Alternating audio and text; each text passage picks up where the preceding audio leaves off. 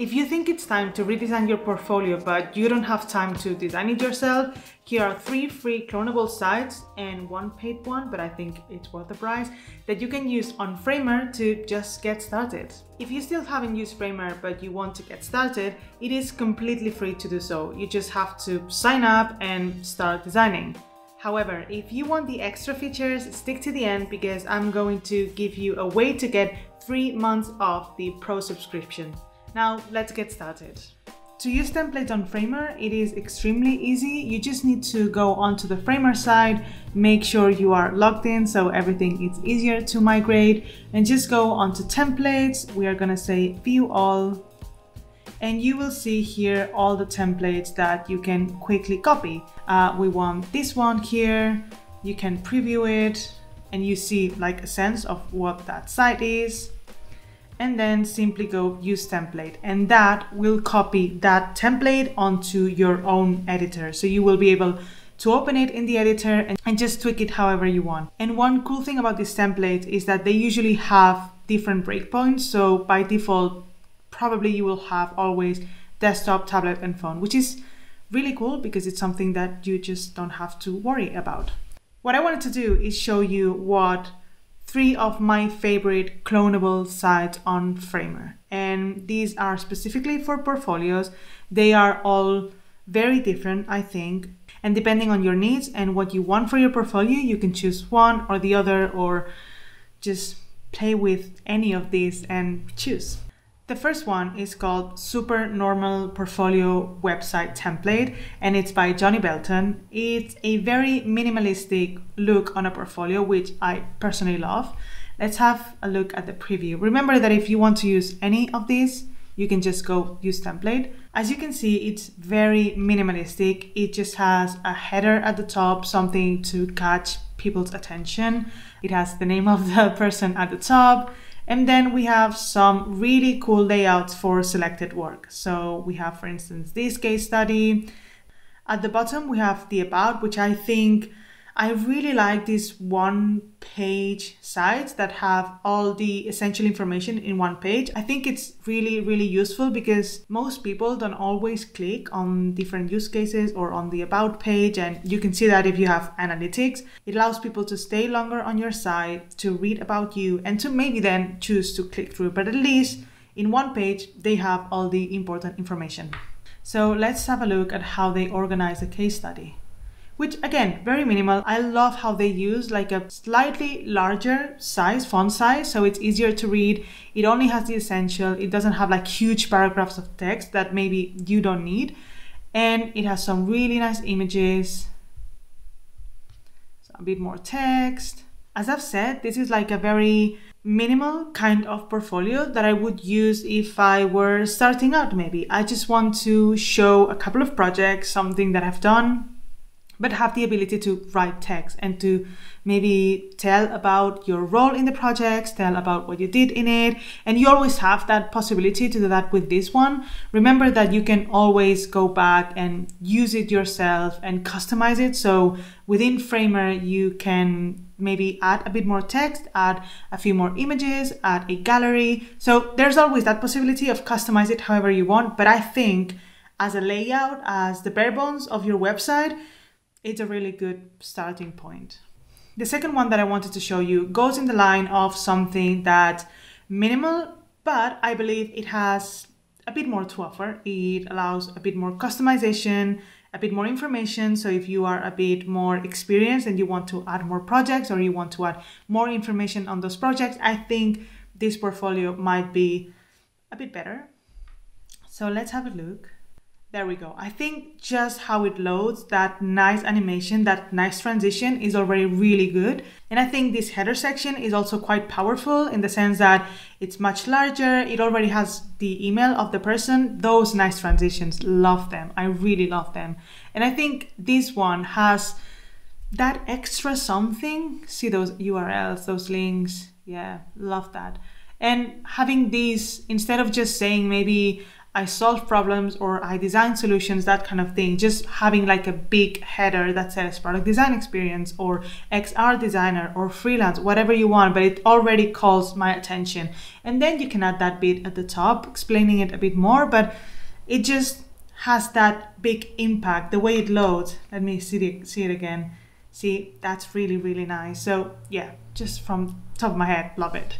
Then we can scroll and see those nice transitions on the hover, those extra things. If I were looking for someone to hire or if I were looking at portfolios, those are the things that would caught my attention and definitely go for that person. So yeah. And then what I really like is that as you hover, you get a bit more information on the project, which yeah, really nice touch they even tell you what you can write. So if you remix this, if you use this template, maybe you can use that to add your project, project title and as you hover, maybe description. So you can say maybe copay as the project title and as you hover, it can say simple banking app, anything, but it's really nice. Let's see how they handle a case study.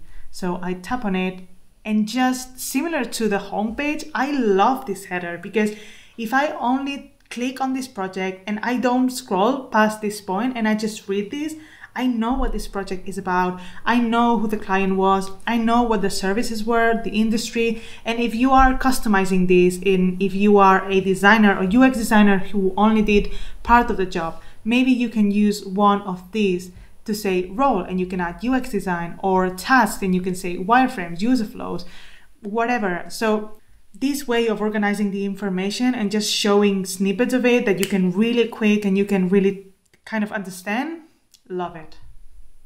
Then we obviously have the description of the project and also what the project is and what it is about and some really cool images. Bit of text, which perfect. And I really like how everything loads. It's very, very nice. Really like this portfolio.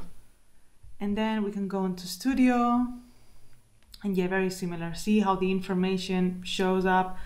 Very very nice. I would definitely use this template if i were you because you just need to tweak the information. Let's just copy it to see how it is but you can just change the information, adapt it to your projects. Maybe if you don't want it this black, you can change the background color, you can change the palette overall, but it already has things like the hover state or how everything loads that will add that extra layer of quality that you might be looking for for your portfolio. So yeah, this is very, very recommended template. And last but not least, a different kind of portfolio, a bit more interesting on the style and how they use fonts, but yeah, let's have a look. So right from the beginning, you can already see a different tone, a different use of fonts, this banner here that slows down as you hover, which love it. I really love the use of the palette overall. Obviously, these are mock-up, these are placeholders, but if you manage to kind of match the site's branding with your own project and how you use fonts and how you use colors overall. Ah, uh, chef's kiss. It has these really nice transitions as well as the previous one. It has this nice scroll. Look at that. Look at how those sections overlap. This is really nice. Same banner. It moves as you scroll, which I love it. And then look at those hover states as I was saying with the previous one, I think having those extra details on your website will just elevate it and catch your users and the people who watch it attention and that i think is really important especially if you're looking for jobs and you want to catch recruiters or companies attention that's very very good cool let's have a look at how they handle each project so uh, the homepage doesn't have the projects. It's more like a landing page where you can see what that person does and the services, and maybe if this is an agency, what they do. So you have to go onto the work side to kind of look at the projects. And same as the previous one, it has those nice little snips of information that you can really quickly see and read. Nice images, really nice panels of information that as on the homepage they scroll. So imagine if you need to write your role what you did the goal it's it's like very very nice to add that. Then it has like a sweet gallery i mean those images are really nice even if you don't have really cool images i mean those are great and a banner and always like the CTA to get in touch. So maybe if you're a freelance, that's like a good portfolio to have. I think overall, I'm not sure if I would use this one, but hear me out. I love it. If you are someone who just wants to show their voice, their tone, their personality through their portfolio, go ahead and use it. I personally wouldn't use it because I think I always try to let my projects speak by themselves and I don't have that loud voice. Like I'm not that like huge brand person that just needs to show who I am all the time. I just let my portfolios work and, and do the talking. But still, if you want to use it, go ahead, use it as a template. It's a really, really nice one. I really love the transitions. I love those banners moving. I think it has things that, as a user, catch my attention and make me want to keep scrolling and keep reading and keep like learning about that person, which I think it's really cool if you as I said, are looking for a job or want to get some sort of collaboration or deal, or if you are someone who wants to show their personality through their portfolio. So, yeah, this is really, really nice. And as any, you can copy it and you can tweak it, and yeah, beautiful, beautiful. Before finishing, let me show you another template. In this case, it is a paid one, so you don't have the option to try it out and customize it. You have to pay first. But I think because of its style, because of how it is designed, that I still can't believe that this has been done with Framer. I think it's worth the price. So this is called Dashfolio and it is designed by Cedric Moore. I hope I'm saying his name right. But what he's done is a really unique template that, as I've said, I can't believe this has been designed and developed with Framer. And it almost looks like Notion. It's so clean, it's so organized, and you can tweak all these different links however you want. So this is the template. This is the preview of the template. This is not his real portfolio, which I'm going to show you in a minute. But you can see already how you can customize this however you want. You can add forms. You can have like an about page. And what I really, really like is how clean it is, how it almost, yeah, it feels like a blog, like its own OS. Like, I don't know. I just, I love how clean and how minimal it is. And let me quickly show you his own portfolio so you can see this in action. So this is actually his portfolio and you can see how he's using it for his own information. Um, yeah, these are some of the links that he has. Ha he has a link to the blog, the stack that he uses, and just like a newsletter input. Look at how everything loads. Look at the little transition. It's just so clever. I love it. So so as I've said, this is not free. I think this is worth $75. Uh, yeah, that is, that's it. But if you want something a bit more professional, something where you want to show what you can do and your project in a more professional, um, yeah, more sophisticated way, I would definitely go with this you can have the other templates for free, but if you want something a bit more unique, you should go with this. You can even try to rebuild this and do it yourself on Framer, but good luck with that because Cedric has made a great job with it.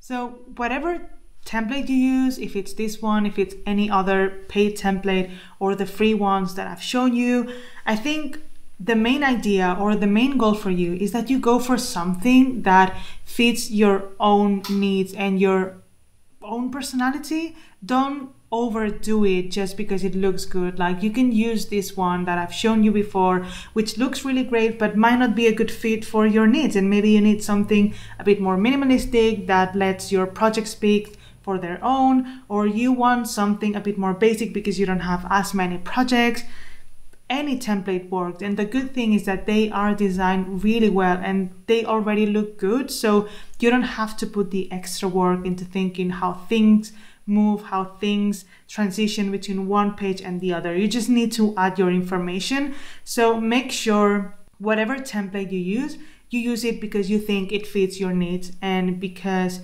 it works well with you. Don't go with something that looks good, but maybe it's a bit too much for you. As I said at the beginning, Framer is a free to use tool. However, there are some cool extra features that you only get if you pay for the pro subscriptions.